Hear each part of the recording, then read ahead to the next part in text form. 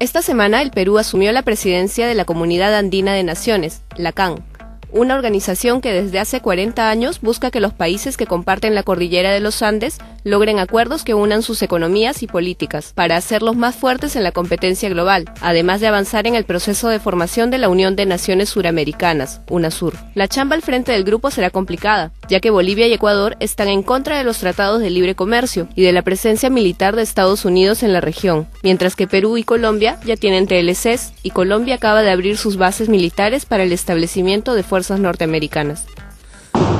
Los escolares en Honduras protestaron contra los golpistas que siguen en el poder, apoyados por el ejército, después de expulsar a Nicaragua a su legítimo presidente, Manuel Zelaya. Los estudiantes de escuelas y colegios hondureños se sumaron al paro nacional adulto, porque los golpistas han empezado a cobrar a los padres de familia, en un país donde la educación era gratuita durante el gobierno democrático de Zelaya. Para el cuarto año de gobierno de Alan García, su partido, el APRA, está imponiéndose en varios puestos de poder político. En el premierato, Velázquez Quesquén reemplazó a Yehude Simon, y al inicio de la semana, Luis Alba Castro fue elegido por la mayoría de los congresistas como presidente del Congreso. En la chonguera elección, la minoría aprista tuvo el voto fujimorista y de algunos parlamentarios de Bloque Popular, Alianza Parlamentaria y Unión por el Perú. El gobierno está dispuesto a flexibilizar el plazo del programa de adecuación y manejo ambiental, PAMA, a la empresa minera Doerran, que opera la contaminante metalúrgica de La Oroya. Después de incumplir varias veces antes los plazos, el plazo final para que la empresa Doerran mejore sus procesos ambientales vence este octubre, pero el presidente García ha dicho que él extiende el plazo a cambio de una garantía económica. No se ha revelado en cuánto cotiza el presidente la salud de los niños que crecen en La Oroya envenenados por los humos de Doerran. La semana pasada, el ícono de la lucha contra el racismo en el mundo, el sudafricano Nelson Mandela, cumplió 91 años. Mandela logró vencer el apartheid, sistema que daba más derechos a la minoría de blancos que a la mayoría negra. Para eso Mandela lideró una lucha social pacífica de décadas, que le costó muchos años en la cárcel, pero que logró tal respaldo que los racistas soltaron el poder y tuvieron que llamar a elecciones generales, en las que ganó Mandela, quien instauró la igualdad.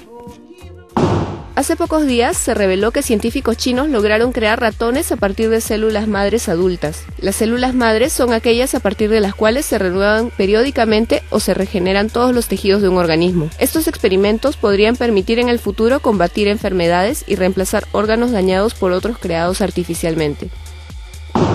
Un adolescente de solo 16 años perdió la vida en la base militar de Pichari, en Ucayali, mientras hacía ilegalmente servicio militar. La ley permite el servicio solo a los mayores de 18 años, pero este y otros casos descubiertos en los últimos meses, entre ellos otro recluta adolescente muerto en una emboscada narcoterrorista, demuestran grave descuido de parte de las Fuerzas Armadas en la protección de los derechos de los no adultos. El ejemplo no adulto de la selección juvenil de vóley contagió a sus colegas adultas, que lograron la clasificación al Mundial de Japón del próximo año.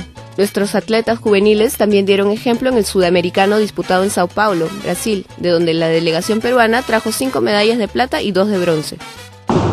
No solo en deporte destacan los peruanos no adultos, también en matemáticas la delegación peruana consiguió cuatro medallas de plata y dos de bronce en la edición 50 de la Olimpiada Mundial de Matemáticas en Bremen, Alemania. Perú quedó en el puesto 24 de 104 países participantes, gracias a las medallas obtenidas por César Cuenca, Tomás Ángeles, Ricardo Ramos, Julián Mejía, Tarsi Guerra y Raúl Chávez, que con solo 11 años igualó el récord mundial como el medallista más joven de las Olimpiadas de Matemáticas.